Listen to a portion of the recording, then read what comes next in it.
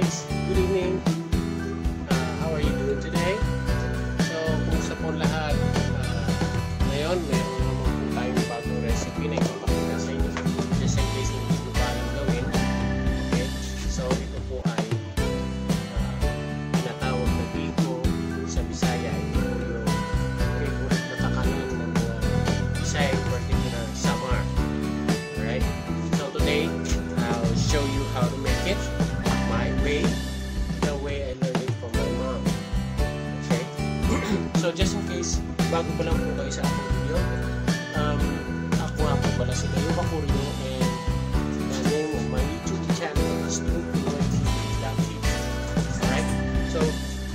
first of all, um, gusto ko po kayo sanang i-invite na mag-like, share, and subscribe to my channel. Alright? And also comment on everything that we're seeing today. Today is around past 10 in the evening.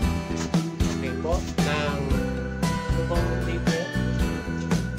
October 16. Okay,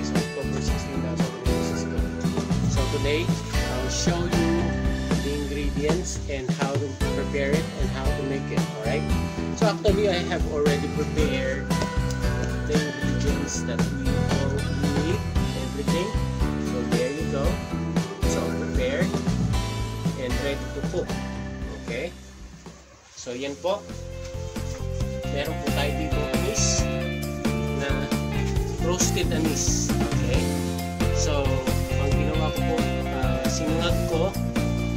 Dinipdip para ma-extract yung or ma, mas mas lalo siyang savory, mas mabango. So, yan po. Yan. So, mano-mano ko po siyang dinipdip. Grounded by hands. Okay, yan po. Tapos, meron po tayong yan. 1-4 sugar. 1-4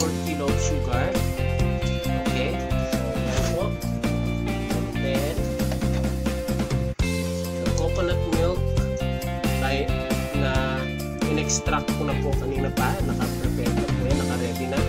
So, ito po yung first yung first katas, yung unang-unang katas, yung sabi na sa Tagalog, ah, kakang gata. Alright? So, yan po. Yung first na ano, tapos yung sapal, yung, yung yolk na pinanggalingan nito, ay nilagyan ko ng tubig, tapos in-extract ko rin yung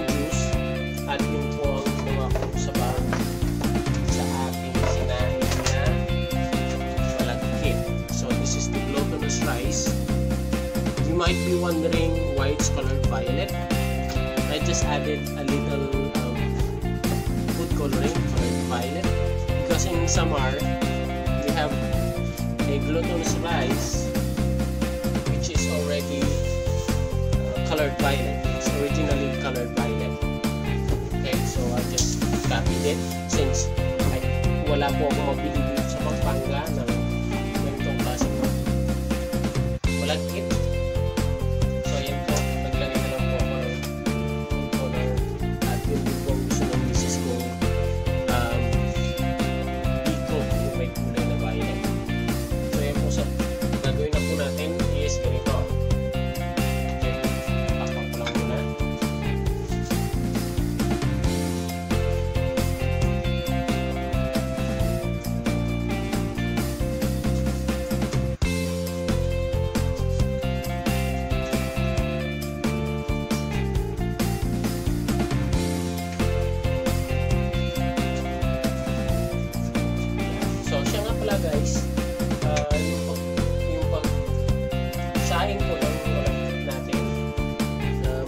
dun sa pangalawang gata na pinasabaw ko dito sa dito sa malagkit na bigas, nilagyan po siya ng mga uh, 1 tablespoon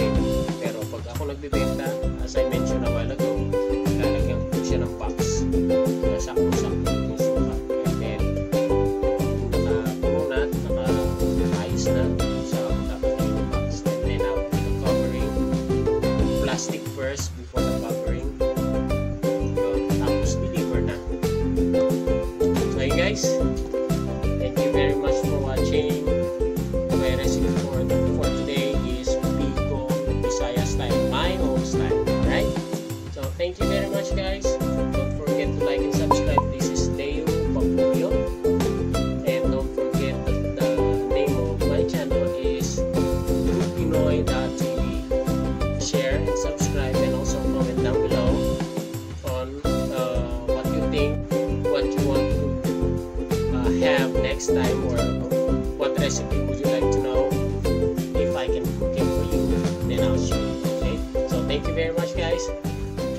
watching.